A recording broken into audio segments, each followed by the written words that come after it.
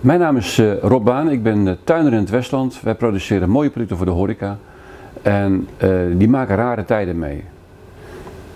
200.000 restaurants in Europa zijn dicht en alle producenten die die horeca beleveren, dat zijn er heel veel, met een hele hoge kwaliteit, kunnen eigenlijk een product kwijt. En die producten worden nu weggegooid. Nou, gelukkig met een hele goede relatie met Albert Heijn en het bedrijf Rungis zijn we in staat om eigenlijk die producten aan te bieden binnen Albert Heijn die normaal nooit te koop zijn.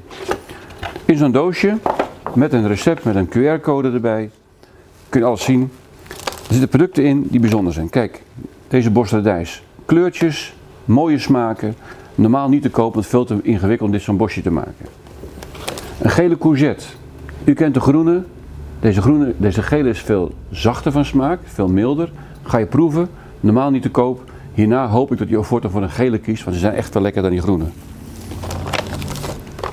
Tomaten, allerlei kleuren, allerlei vormen, allerlei smaken. We gaan er een hele mooie salsa van maken.